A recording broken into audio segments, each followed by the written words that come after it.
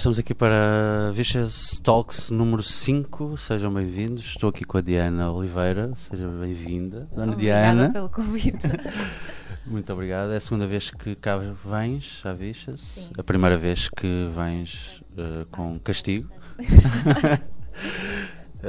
vamos falar um bocadinho sobre um, o teu percurso. O que é que te levou aqui à, à música? Como é, como é que foi esse desde pequena que gostavas de música e que um, te vias a fazer qualquer coisa ligada a isto? Ou uh, eu acho foi... que às vezes eu ouço histórias de, de, alguns artistas, ou o pai era ligado à música, ou o irmão, coisas assim de género. Eu não tenho esses antecedentes.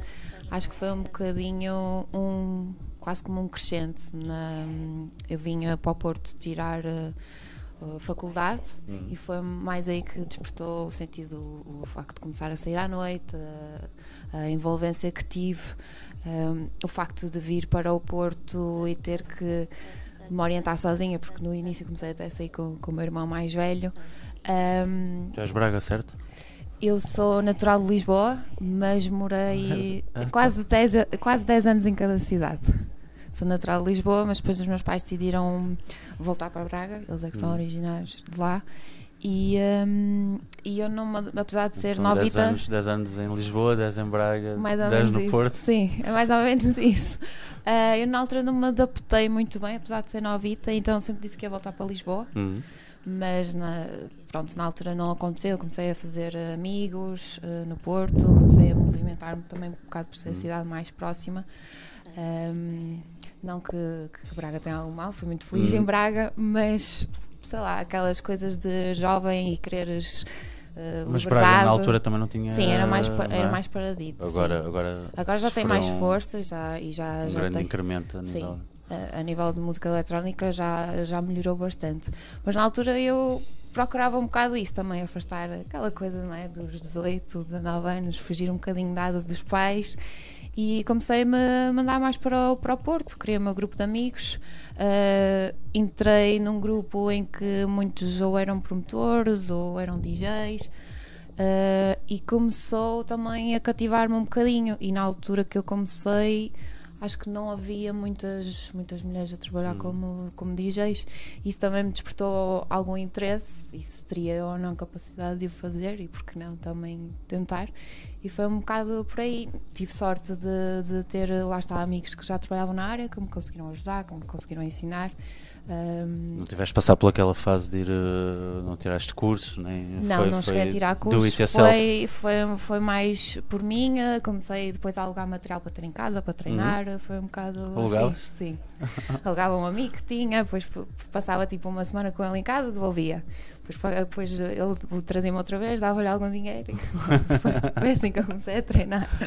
Fiz. Sim, foi a maneira que eu arranjei. Começaste uh, coisas mais fáceis, aulas e assim, ou logo. Não, eu, eu, eu acho que nunca me. Como é que eu ia dizer? Eu acho que, que sofri uma evolução, acho que é, acho que é normal. Pois, uh, eu acho que passaram a voar, mas eu toco praticamente há 10 anos, hum. desde 2011 mais ou menos. Um, e noto que há uma evolução e acho que, acho que acaba por acontecer com todos os DJs, não é?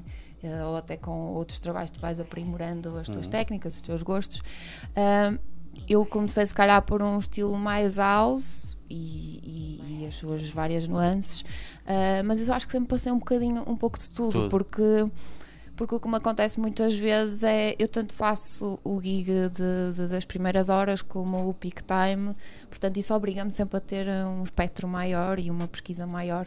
Nunca me cingi, acho que só a um estilo.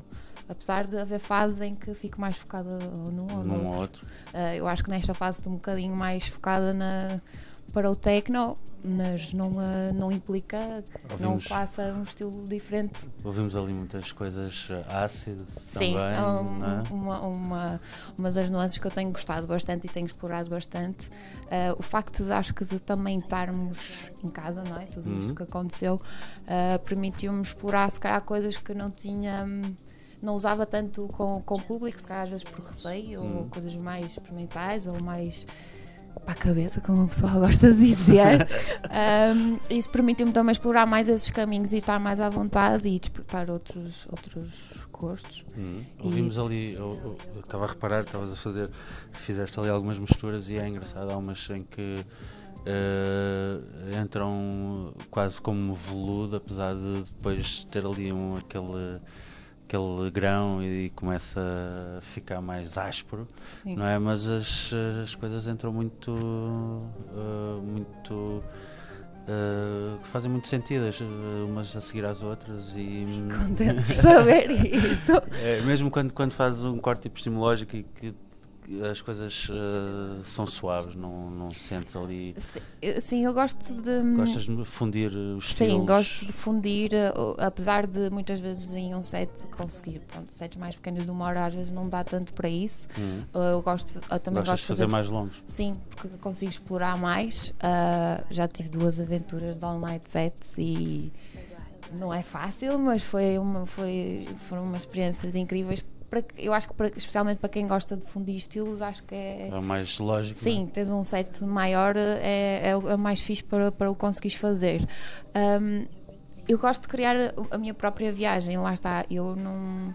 Acho que se me cingi- cingisse só um estilo, eh, acho que é que ficar um bocadinho aborreci- Pois, aborrecida. aborrecido. é. Eu acho que sou um Sofro bocadinho do nisso. mesmo também, compreendo perfeitamente. Ah, Dizias-me, ah, começaste hum, em 2011, certo? Sim, Mais assim sim. à sério, não é? Sim. E o teu percurso foi sempre assim em crescendo, não é? Foste Sim, estavas com a RDZ, não é? Sim. Indústria. Eu tornei-me eu comecei a trabalhar com a RDZ. hum, acho que o passo quando fiquei residente do indústria foi um, um passo importante para mim, porque para além da responsabilidade, não é? Uh, tinha, eu tinha, espero continuar a ter, não é? Uma residência mensal. Uh, o, o Ruben, na altura, quis criar, uh, em vez de ter um residente fixo todas as noites, ter um circuito de vários residentes, o que acaba por ser fixe tanto para nós DJs como para a própria casa, que fica com um espectro maior. Uh, para nós também é fixe porque não ficas cingido só àquele clube, consegues Claro. continuar a trabalhar fora. E para mim deu-me um arcabouço muito grande porque eu fazia muitas vezes warm-ups nacionais ou internacionais, o que fosse, eh, e muitas vezes era só eu e essa pessoa. Ou seja, eu fazia se calhar às vezes da meia-noite às 3, 4 da manhã, dependendo. Se por acaso, por exemplo, se fosse alguém internacional e tivesse um avião cedo, ainda fazia o fecho, isso dá-te logo uma estrutura grande, obriga-te a muita pesquisa. Tens que ir a muitos sítios. Sim, uh, uma preocupação logo muito maior. Eu acho que às vezes acaba por ser mais difícil fazer um warm-up desse género do que tu fazes um peak time em que és tu. É? O que é que preferes? Preferes fazer. uh, ou, será que tens preferência? É bom É fazer só- as duas coisas, Sim, não é? Mas é, lá está, é o que eu estou a dizer. Foi, foi muito importante quando isso aconteceu, quando eu me tornei, porque obrigou-me quase como. deu-te uma estaleca Sim. enorme. preparou-me bastante e eu acho que isso foi muito importante, mesmo a nível pessoal, para mim, para crescimento. Mesmo para depois a outros sítios e Sim. sentiste mais à Sim, vontade. porque com- quando, tu- quando tens um headliner a seguir a ti, tens que. Não, não podes estar tão preocupada contigo, não é? Tens, Uhum. que, tens que pensar em, em tudo e, especialmente, deixar a pista bem feita para Uhum. esse headliner. Claro. E é isso também a humildade, a humildade da pessoa que começa, não é? Sim. Não chegar ali e tocar os êxitos todos. Sim, e, e acabei por eh, ter eh, experiências muito boas ali e no, no indústria, desde fazer o warm-up para pessoas que eu olhava tipo como heróis, não é? Uhum. Ah, sei lá, por exemplo, aconteceu com o DJ Deep no fim, ele, eu, ele supostamente ia acabar e eu estava à beira da cabine e ele chamou-me para fazer back-to-back e eu fiquei tipo assim. Ele até me perguntou, mas não queres? Eu tipo, quero, mas tipo, sabes aquela pergunta que tu não estás à espera e fiquei mesmo tipo paralisada quase. Um, ou seja, desde.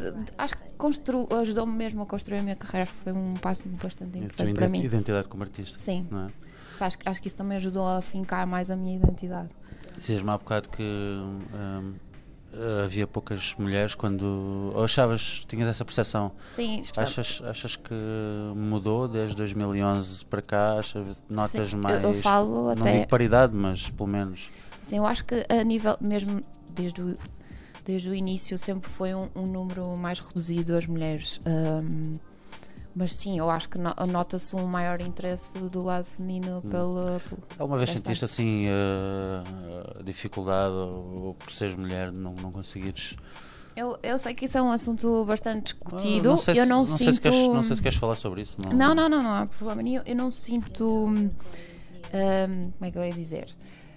Pode ter havido algumas, algumas, algumas situações em que eu sentisse que devia ter que provar alguma coisa ou devia ter que fazer assim para perceberem, mas nunca me senti, como é que eu ia dizer, tipo ofendida ou alguma coisa assim do género. Não, não, já ouvi histórias bastante complicadas, nunca foi, nunca Nunca foi o meu nada caso. contigo.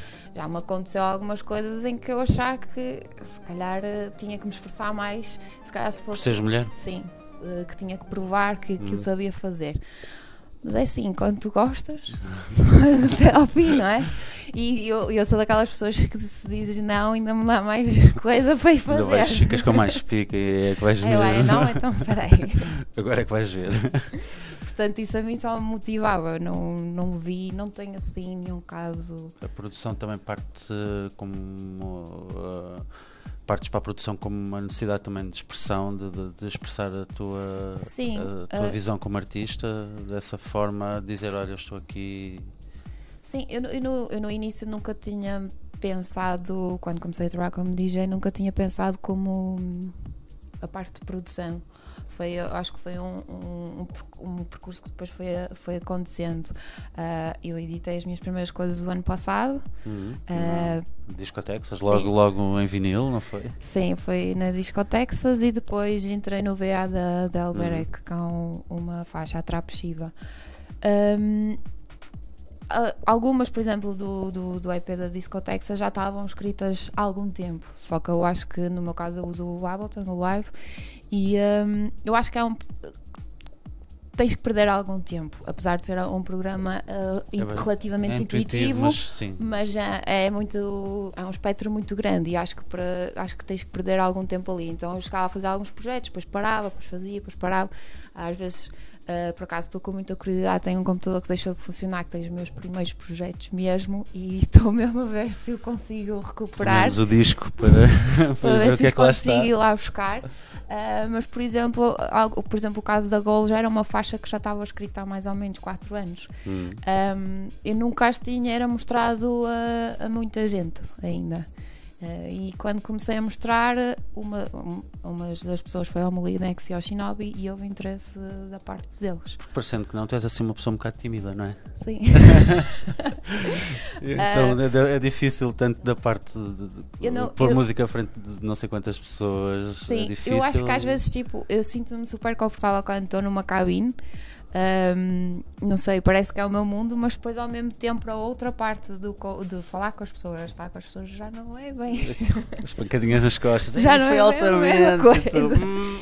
Eu gosto de ir lá e fazer a minha coisa e ter o contacto e aquela, aquelas sensações que tu tens de conectividade com o público e não sei o quê. Mas depois a quando parte a sai seguir- dali, tipo, sai do meu abrigo.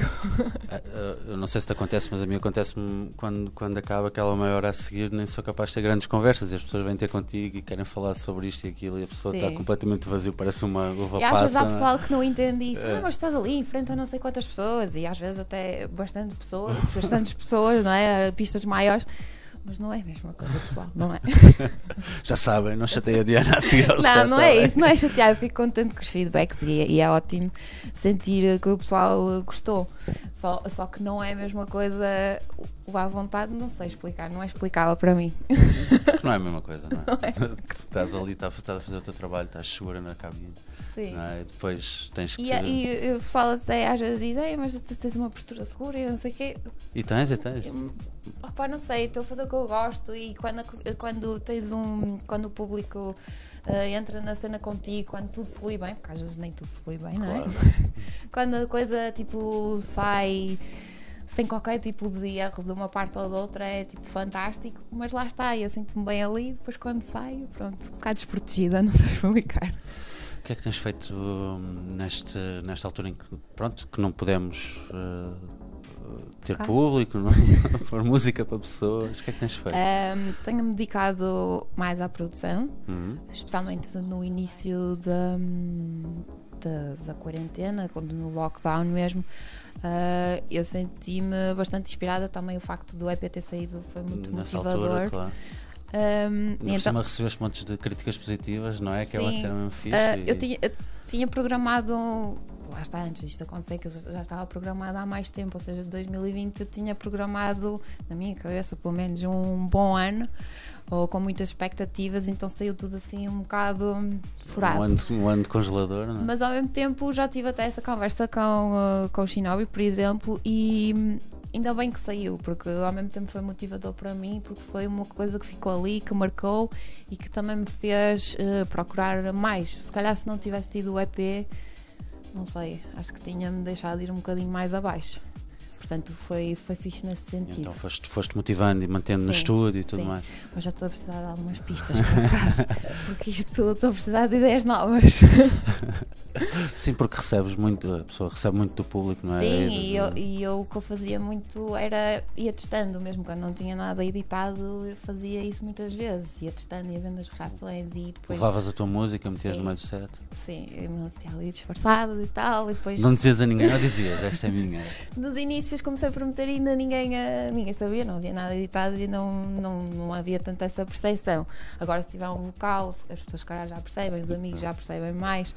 Um, Sempre tu usas muito, para quem, não, para quem não sabe, usas muito a voz como parte integrante mesmo da estrutura sim, das canções que, no, que, que escreves. Que, no primeiro EP as três têm, uh, na Trapsiva não tem qualquer tipo não, de vocal, não, não uh, mas sim, é um cunho pessoal, lá está também foi repescar uma das coisas que eu gostava muito, que era escrever. Uhum. Uh, algumas das minhas faixas têm tipo textos meus antigos ou histórias minhas antigas. E isso foi engraçado, criar quase que melodias para histórias para minhas, histórias. dar um toque mais pessoal. No início não gostava assim muito de ouvir a minha voz, mas Pois, é normal, acho que, início ninguém gosta. acho que ao início ninguém gosta, depois vamos percebendo como é que ela soa melhor, não é? Sim.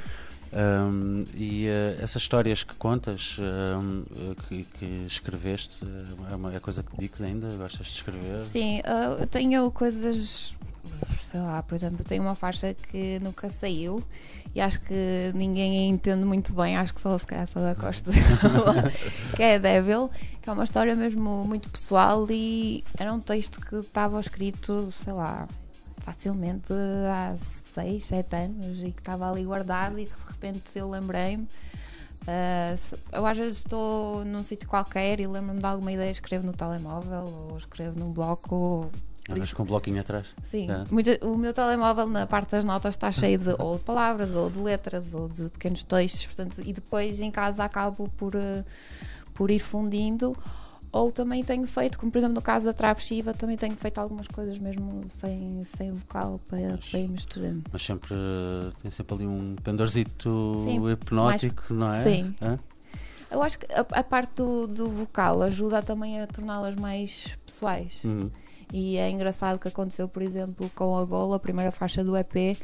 Uh, muita gente me falou a dizer que a faixa era motivadora ou que se reviram na faixa, na letra não sei o que, não sei o que mais. E é engraçado como a tua história ou alguma coisa que se passou contigo, contigo, depois encaixa na história de outra pessoa e isso é gratificante. Nunca pensei que alguém me fosse tipo, dizer uma coisa dessas.